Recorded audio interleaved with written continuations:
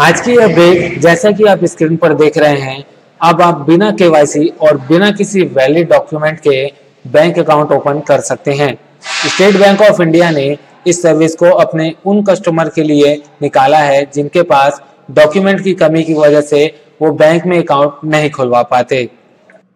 लेकिन जहाँ इसे बिना केवाईसी के ओपन कर सकते हैं, वहीं एसबीआई ने ऐसे अकाउंट पर कुछ बाउंडेशन भी लगाई है। तो अगर आप भी जानना चाहते हैं कि ये बाउंडेशन क्या है, ऐसे अकाउंट पर क्या नियम और सीमाएँ हैं और इसमें क्या क्या बेनिफिट्स मिलेंगे तो इस वीडियो के साथ लास्ट तक बने रहें।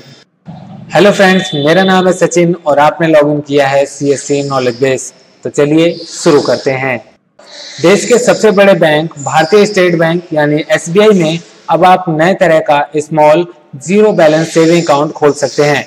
सबसे खास बात इस खाते की यह है कि यह खाता बिना किसी वैध केवाईसी के भी खोला जा सकता है। आमतौर पर बैंक कोई भी अकाउंट खोलने से पहले केवाईसी प्रोसेस को सख्ती से पालन करते हैं।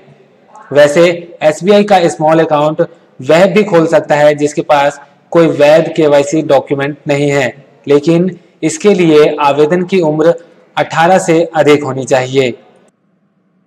SBI का यह स्मॉल अकाउंट खोलने के लिए आपको सेल्फ अटेस्टेड फ़ोटो साइन या अंगूठे का निशान से रिलेटेड डिटेल बैंक अधिकारी के सामने देना होता है। इसके लिए स्मॉल अकाउंट में ज़ीरो बैलेंस रख सकते हैं, लेकिन अधिकतम बैलेंस पचास हज़ार रुपए से अधिक नहीं होना चाहिए। SBI इस अकाउंट के बदले बेसिक रुपए एटीएम या डेबिट कार्ड खाता धारकों को जारी करता है, जिस पर आपको कोई एनुअल चार्ज नहीं देना होता। इसके साथ ही पैसे के लेन देन जैसे एन आरटीजीएस e और अन्य किसी भी मेथड से लेन देन करना और सरकार की तरफ़ से जारी चेक पर कोई चार्जेस नहीं देना होता।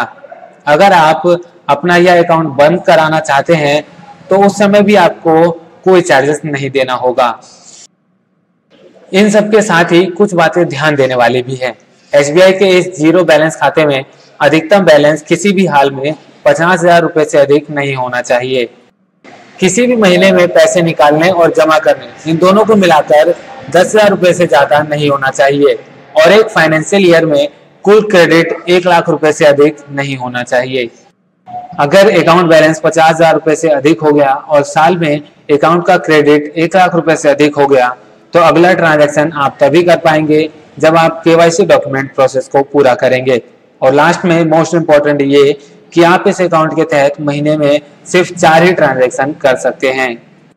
इसी के साथ आज की इस वीडियो को यहीं खत्म करते हैं। उम्मीद है आपको जानकारी पसंद आई होगी। तो मिलते हैं नेक्स्ट वीडियो में। तब तक के लिए इसी तरह की और जानकारी के लिए चैनल को सब्सक्राइब कर लें और चैनल पर पब्लिश और वीडियो को भी आप देख सकते हैं। खैर, अभी के लिए इस वीडियो में इतना ही। मिलते हैं नेक्स्ट वीडियो में। जय हिंद, वंदे मातरम।